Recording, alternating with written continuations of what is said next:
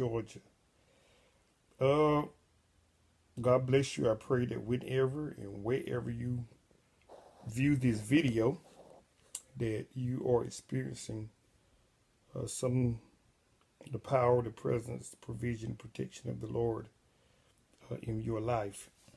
Now, I've attempted to go live with this video uh, on several occasions. Uh, I don't know whether or not it is human error uh, or just it wasn't meant to be.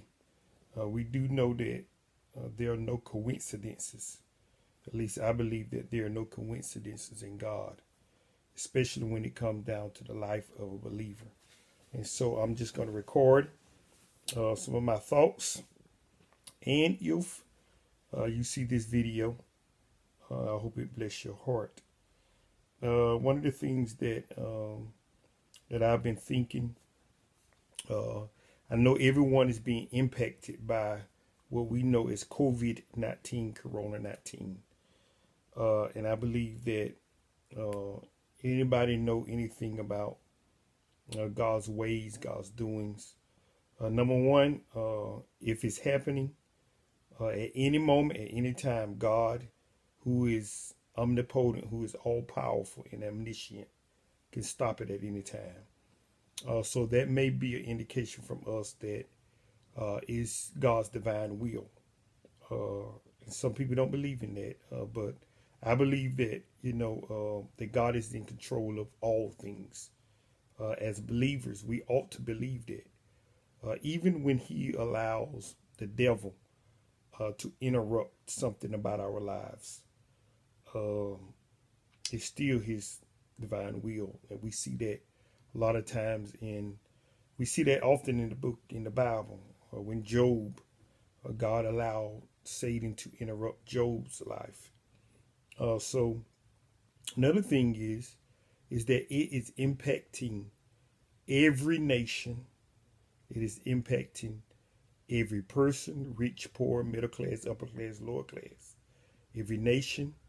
Uh, it is impacting uh, all systems of this world the economic system, the agriculture system, the education, the religious system. And so that is a good indication that perhaps there is something divine that's taking place. And so, as a student of the Word of God, as uh, not only um, a teacher of a scripture. Uh, but even if I wasn't called to minister, even if I wasn't called to be a pastor, or I wasn't called to be a teacher, uh, first of all, I'm a student. Uh, he declared Timothy, Paul declared to Timothy to study yourself self approved unto God, a workman uh, that needeth not to be ashamed to rightly divide the word. Uh, the same thing occurs that occurs in Second Timothy but in First Timothy, he said all scripture is given and inspired by God is profitable for reproof, instruction, correction, and righteousness. Uh, so it it is our responsibility as children of God to number one to uh, to see uh, what God is saying during this time. Uh, we quote the scripture in Proverbs uh, to trust in Him with all our heart and lean not to our own understanding in all our ways acknowledge him, he shall direct our path. And so it is our responsibility to see uh, if God is the shepherd, he's the Lord, he's the shepherd of our soul. It is our responsibility to see, okay, where is it in the word of God that may instruct us during this time, that may give us some type of peace, that may give us some type of divine instruction. What do we do uh, as children of God during this time? Can I tell you something that COVID 19 may have taken us by surprise, but it did not take God by surprise? Uh, all things from creation are clearly seen by God. Uh, one of the things that uh, occurred is is that God, uh, who is omniscient, He's omnipotent, He's omnipresent, He's everywhere. He can be God is can be everywhere at one time. Scripture declares him being Alpha and Omega, the beginning and the ending. That means that God exists in the past, but yet in the present, but yet can exist in the future. So that's one of the aspects about God that that we have to appreciate as believers. That nothing that's occurring during this time is taking him by surprise. And so it is our responsibility to look in scripture to see, okay, what what in scripture, which is our divine uh, instruction, which is the mind of God, where in scripture can help me to have some type of some type of consolus or some type of comfort during this time. Romans in the book of Romans it declares that those things that were written in scripture aforetime he was talking to the church at, church at Rome were written for our learning and admonition that we through patience of the scriptures may have hope. When Paul wrote that to the church at Rome, what he declared unto them that if you look in the Old Testament scriptures, this should be something that we can learn from that that through those we may have hope, we may have some type of inspiration, we may have some type of comfort when it comes down to dealing with life circumstances. Uh, and so the Bible serves as that scripture, that writ, that document for for for us. That as we search it, as we as we study it, as we read it, it may provide us some comfort and some hope uh, and some patience. He said patience in scripture. And so it is my it is my task now to say, okay, what is it or uh, where is it in scripture that may address uh, something similar to this? And, and I'll be honest with you, it reminds me of it reminds me of uh, in the book of Exodus, uh, chapter number 12, uh, at Greater Believers Worship Center, we was looking at that. Uh, and and we know that God utilized 10 plagues to deliver his people out of Egyptian bondage. And that last plague, uh, I think in Exodus chapter number 12, uh, was a plague of death of the firstborn. And so there was there was there was death that was going to occur. God gave his people a divine instruction how to cover yourself uh, during this time, during that time. And so, can I tell you something? Number one, there is a divine instruction how the child of God is to protect themselves, or how the child of God is to find some comfort, some hope. Uh, so, this time reminds me of Exodus chapter number 12, when when God uh, decreed a sentence uh, that the death angel, uh, or that that there would be death, uh, and I have to I have to uh, really restate death angel. Never seen the scripture where there's such thing called an angel of death. Uh, the Bible said the destroyer. As a matter of fact, God said, "I will come down." Uh, so uh, he utilized death of the firstborn uh, to get Pharaoh's attention. Uh, and can I tell you something? There was something that Egypt, his people, the Jews, uh, was specifically doing during that time in order to cover themselves. And and some of you know the story uh, where where God uh, told them to take a lamb, a firstborn, a lamb out of the sheep or a lamb out of the goat, uh, and He said that during that time you're gonna roast it with fire and you're gonna eat all of it. And He said something like, uh, "The bread that you shall eat uh, make sure it's unleavened bread. Can I tell you something? Every aspect about that, about that decree, every aspect about that, those instructions, uh, says a lot about the time that we're living in. Number one, uh, God speaks divine instruction how to cover Him, His people, and how to protect His people. Number two, uh, we must be obedient to those divine instructions wherever they are. Um, number three, uh, he says that uh, you have to consecrate. And, and the thing they did was shut, watch this, they shut themselves in a time of consecration. Everything about that initial Passover, uh, for those of you that knows, everything about that initial Passover showed us uh, and was a type, a shadow, was an example of what it means to consecrate, to really dedicate yourself uh, during a time where God is moving. And that's important, where God is moving. Uh, whenever God moves in a powerful way, uh, our responsibility as the people of God, our responsibility as the earth, is to stand still and let God move. Uh, there's a scripture that says, "Be still and know that I am God." Uh, and there's various uh, translations to that. Uh, one translation said, "Be in awe and recognize who I am." Uh, another translation says, "Stop, calm down." I think that's the contemporary English version. Says, "Stop, calm down. I will deliver you." And so, regardless of what translation you're reading, one of the things that we have to do is calm down and be still. And so, during this time where we have been we have been given orders uh, through the president and some of us through the governors to stand still, to to shut ourselves in. I believe those are divine instructions also, because when God moved like this, listen, we shouldn't be doing anything. Uh, as a matter of fact, uh, you know, I am of the conviction that uh, that uh, even in our attempts to uh, to to have church, uh, in our attempts to go on as normal, we have to be careful with that because when God moves, we there's nothing that we can do normal, and I know we have these avenues where we can come on and try to continue as normal, but can I tell you something? when God is doing something, I don't care what we think we ought to be doing, we cannot carry on, we cannot behave, we cannot think as normal. That's what was happening in Exodus chapter number 12.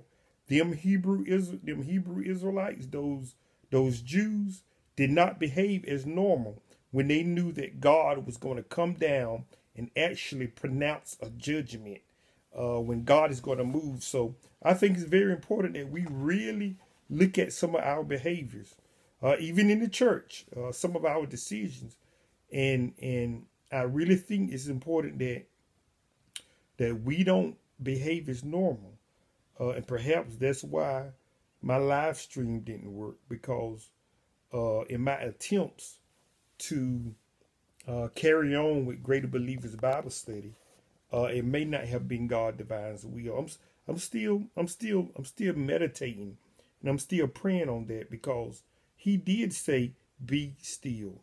And when you be still, that means stop all your movements. Stop your movements. Stop your actions. Stop what you think you need to do. do. In the contemporary English version said, calm down. Another version said, be in awe. So I think this is a time where the church really needs to um, evaluate some things and, and, and really decide whether or not we ought to be behaving or trying uh, to attempt to behave as normal because this is not normal. Uh, this is uh, something that, uh, and I think anybody that have any uh, knowledge of God, any sense and reverence, reverential fear of Him, recognize that at this moment, uh, He is the only one that can stop this. Uh, and if he, he if he is the only one that can stop this, then perhaps we need to stop our movement. We need to be still. We need to stop what we're doing. We need to stop trying to carry on, behave as normal. Uh, uh, the the government in and of itself have shut us down, have told us to shelter in place. Um, and so I think, you know, we really need to see and really need to make uh, uh, meditate on whether or not we ought to uh, try to have church as normal. I know for some of us, we want to encourage our members, our parishioners. For some of us, we want to maintain maintain contact. But those that have been attending Greater Believers Worship Center know that uh, oftentimes I say, you know, what's going to happen uh, when the church doors doors are closed?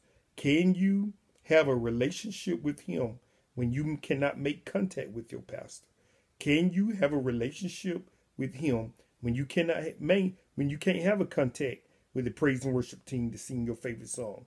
How is your relationship with God when you can't uh, approach the threshold of what we call the church, the four building, the four walls, the building? Uh, can you have a relationship with God when you can't contact your pastor or your your your leader? It's a challenge. And don't you know that some individuals who have made the church, the four walls, the building, uh, some individuals who have made their pastor their God, uh, their Lord is having problems during this time. Well, you know, those of you that are part of Greater Believers Worship Center know that one thing I have declared is that we are not going to build our relationship uh, and our focus as such that we cannot maintain uh, our relationship with God outside the four walls of the church. And I know that, you know, this is a very unpopular, but I believe that, you know, one of the things that you look at Exodus chapter number 12 is that the, the people, the Jews, the Israelites, they did not behave as normal. When they were shut in that house, they did exactly what God told them to do. They was quiet. They was they they roasted that lamb, a firstborn lamb or firstborn goat. Uh, they ate, ate that unleavened bread. And one of the things that leaven represent is sin. So God told them, do not eat leavened bread. You know, leaven is what what what what bakers put in a flour put in dough to make it rise. Uh, it represents in scripture sin. So we see that the people of Israel were declared, do not partake in anything when it, they do, do not partake in sin, do not carry on as normal. Yeah. He also told them to take the blood of the animal that was slain. And so we know in order to be preserved during that time, flesh had to die. Something flesh fleshly had to die.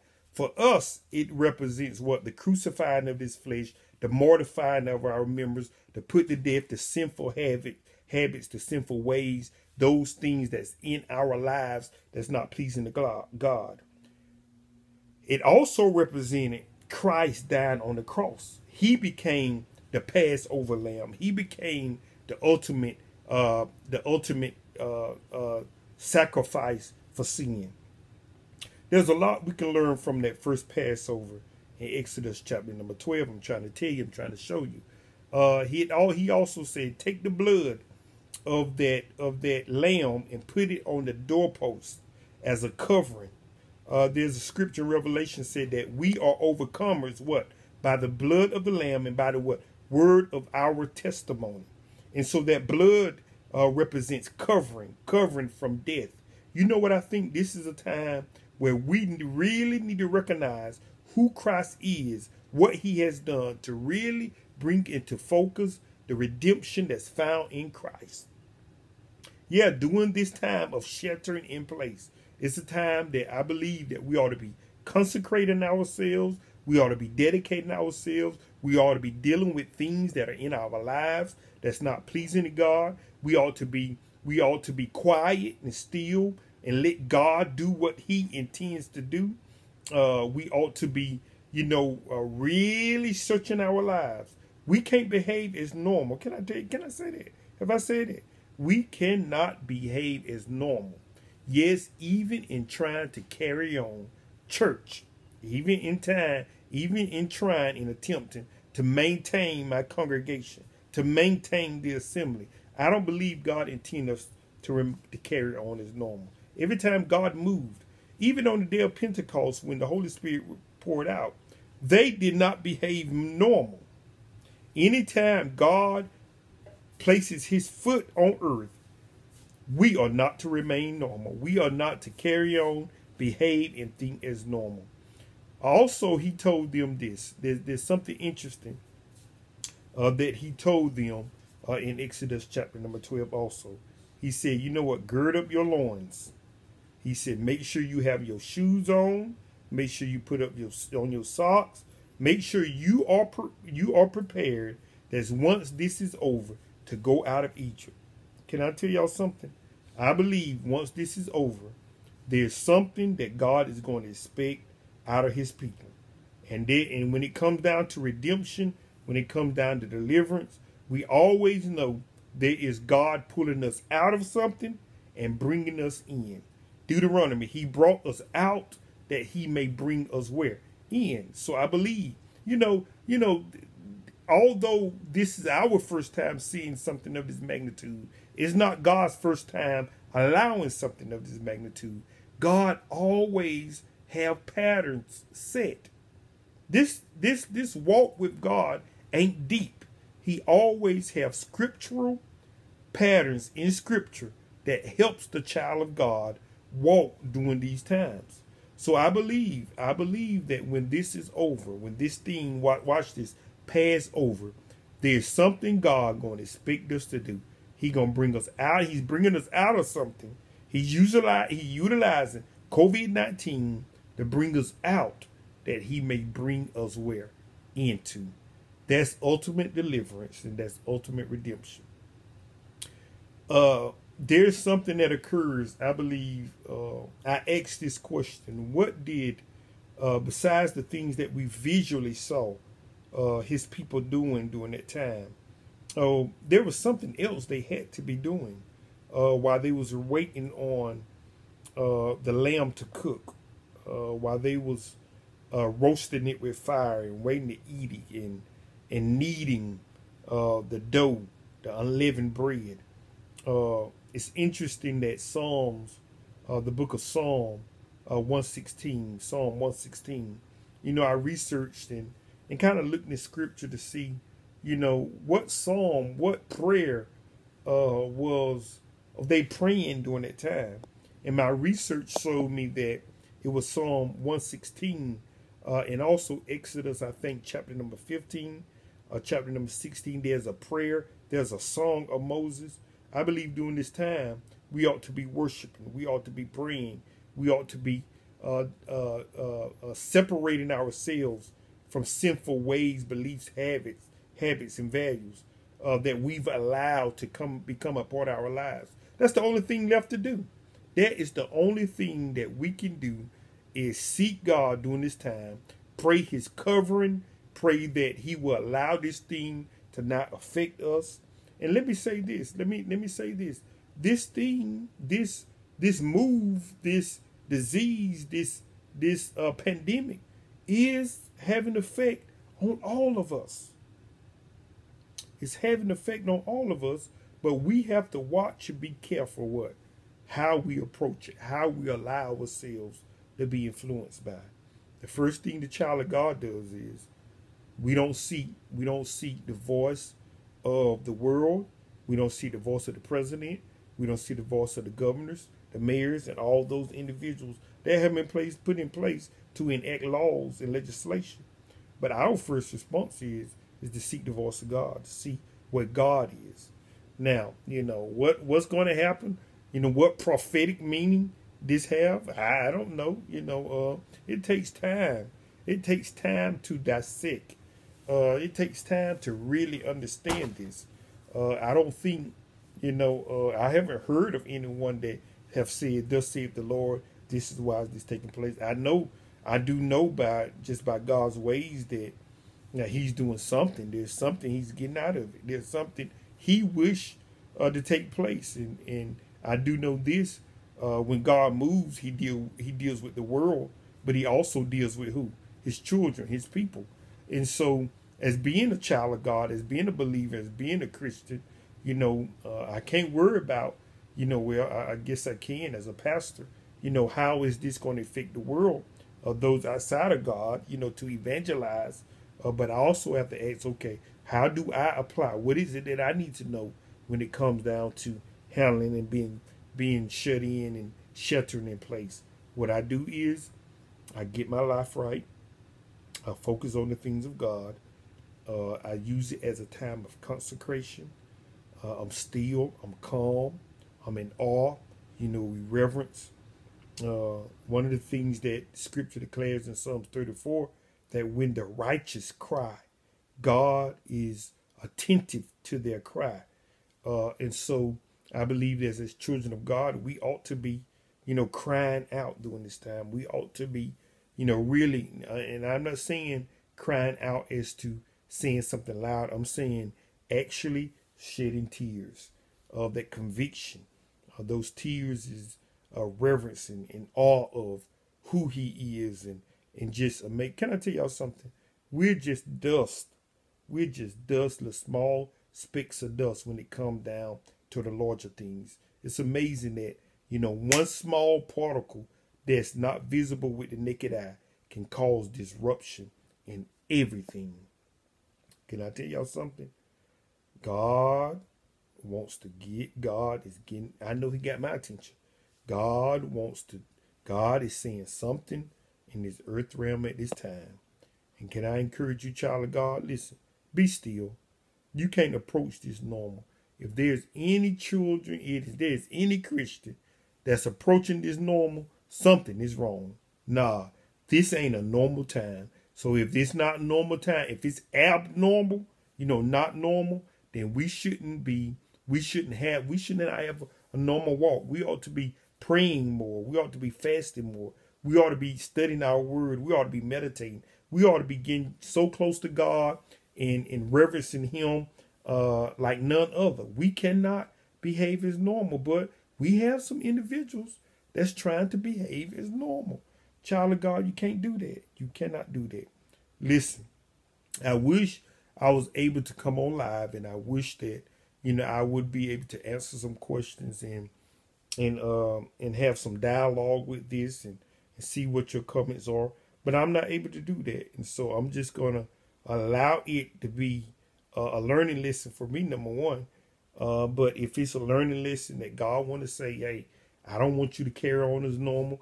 I don't want you to try to hold church as normal. But then I'm telling you, then I need to listen. I'm going to listen. When God is trying to get my attention, because I tried to come on live four times. Now, I don't know. You know, some people say, well, maybe it was the devil trying to prevent you. Nah, nah, no, no, no. I, I ain't saying that. What I'm saying is, is that perhaps this is a time where it, it was meant for me uh, to just make a, a recording and not come live, not have the interaction. Or it was meant for me to not try to uh, carry on church as normal. Because the reason why I was going live is so that those members who are connected to me, that we can be connected uh, during the week. But guess what, y'all? Greater believers, those greater believers worship center members that's going to listen to, that's going to see this later on, you know that prior to this time, I've given you, we God has given us enough word. Uh, at the beginning of January, we was talking about having confidence in God, and ever since then, that's all Hebrews what ten and twenty six. Uh, therefore, cast not therefore await your confidence which in God, which has great recompense of reward. So listen, be confident in who you are, whose you are, what you are, why you are, where you are, and why and where you're seated. Uh, God bless you. This is Pastor Benji Nobles of Great Believers Worship Center. I pray that you was blessed by it. Listen, go go read, go study. Exodus chapter number 12. Study Exodus 12, 13, 14, and 15. Study Psalm 34. Study Psalm uh, 15 and, and Psalm uh, 116 and see what God's people was doing during this Passover. And I believe that you will be blessed. God bless you, and I love you.